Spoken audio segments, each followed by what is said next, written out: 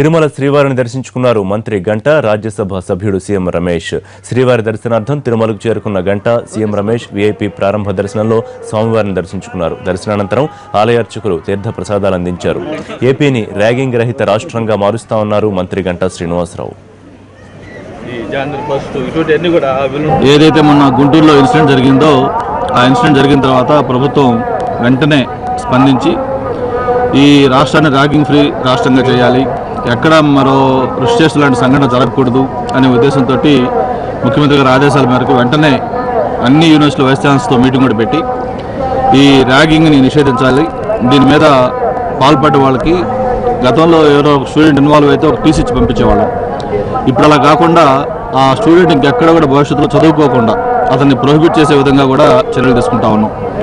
అంతేకాకుండా ఏ ఇన్స్టిట్యూట్లో జరుగుతుందో ఆ ఇన్స్టిట్యూట్ సంబంధించి రికగ్నిషన్ అఫిలేషన్ కూడా రద్దు చేయాలని డెసిషన్ తీసుకున్నాం.